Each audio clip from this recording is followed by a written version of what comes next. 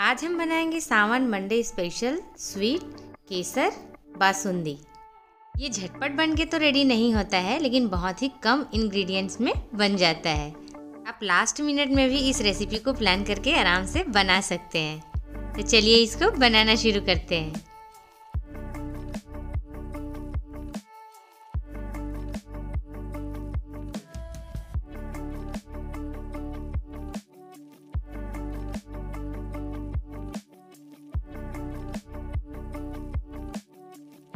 मैंने बासुंदी बनाने के लिए one litre full fat milk लिया है।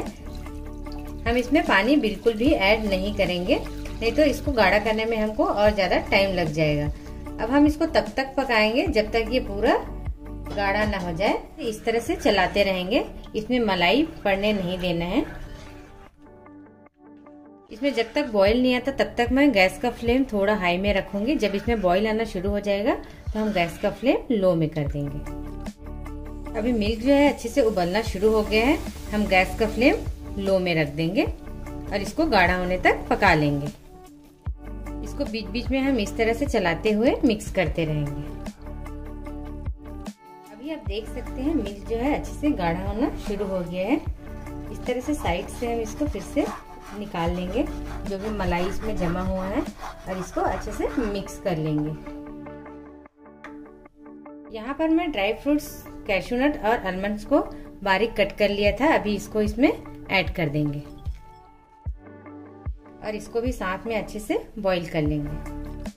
इसको इस तरह से अच्छे से मिक्स करते जाएँगे, ताकि जो भी मलाई इसमें बना होगा, वो मिल्क में और अच्छी तरह से मिक्स हो जाए। और इसको और गाढ़ा होने तक पकने देंगे। देख सकते हैं, मिल्क जो है अच्छे से पक के पूरा गाढ़ा हो गया है। हम इसको इस तरह से अच्छे से मिक्स कर लेंगे। और अभी यहाँ पर मैं इसमें शुगर ऐड करूँगी। अभी मैं इसमें टू टेबल स्पून शुगर डाल रही हूँ। मेरे घर में वैसे मीठा कम ही खाते हैं, इसलिए मैं शुगर कम डाल रही हूँ। आपके घर में अगर ज़्यादा मीठा खाना पसंद करते हैं तो उसके अकॉर्डिंग शुगर को कम या ज़्यादा कर सकते हैं। और अभी यहाँ पर जो केसर हमने भिगा के रखे थे, उसको डाल देंगे।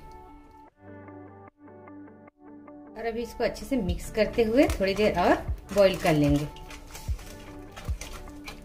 आप इसको जितना अच्छे से मिक्स करते जाएँगे, हमारा जो बासुंदी है, उतना ही अच्छा रहेगा। नहीं तो इसमें बीच बीच में मलाई जैसा जम जाएगा। तो इसको इस तरह से अच्छे से मिक्स करते जाएँगे। और अभी ये अच्छे से गाढ़ा हो चुका है। बासुंदी जो है बनकर रेडी है। हम इसको बोल में ट्रांसफ़र कर लेंगे। अभी इसको मैंने बोल में ट्रांसफ़र कर लिया है। यहाँ पर मैंने थोड़े से ड्राई फ्रूट्स कट करके रखे थे। इसको ऊपर से इस तरह से डाल के गार्निश कर देंगे। थोड़ा सा केसर। और अभी हम इसको अच्छे से ठंडा होने तक फ्रिज में रख देंगे और ठंडा होने के बाद इसको सर्व करेंगे। आप इसको ऐसे भी खा सकते हैं। अगर आपको ऐसे ही मीठा खाना पसंद नहीं है तो आप इसको पूरी के साथ भी खा सकते हैं। आप इसको घर में एक बार बना के ज़रूर देखिए। अगर आपको पसंद आए तो कमेंट बॉक्स में लिखना ना भूलिएगा। चैनल को सब्सक्राइब कीजिए और रेसिपी को लाइक कीजिए। Thank you for watching.